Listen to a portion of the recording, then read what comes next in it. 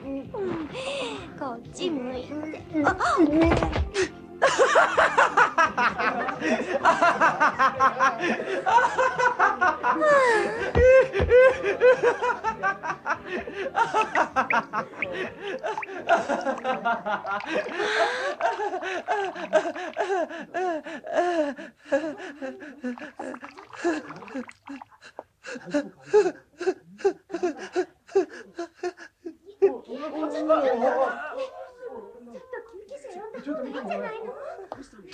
っと君大丈夫？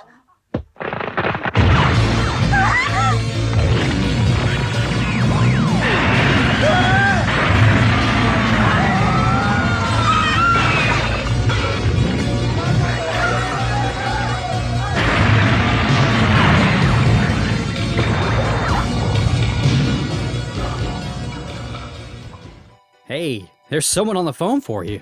It's cute, it's hideous, it's a real monster. 1986's Call Me Tonight is a stellar softcore horror OVA that has everything a nerd needs to feel titillated and terrified with. Our story starts with a sex hotline worker, Rumi, being handed a tough case. Every time a guy does the dirty one handed shake, he transforms into a giant tentacled snake. Unbelieving, our girl Rumi meets up with the guy and finds out that he wasn't kidding about how touching his thing turns him into the thing. From there, it's a quick ride through many funny attempts to quell the beast within before it leaves our couple without hope. I really liked Call Me Tonight. It's simple, but it has good animation, especially the monster parts, which are always a different beast form. It nails all the bits to make a good horror mystery, too.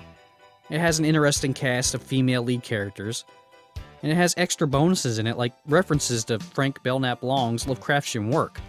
This OVA is inspired by The Man with a Thousand Legs, which is shown briefly in the episode as something someone is reading. There's also references to The Green Slime and some other horror titles that are pretty nifty. So give this one a ring, even if you've got issues with your thing. I give it 5 Fright Night puzzles out of 5 definitely check it out.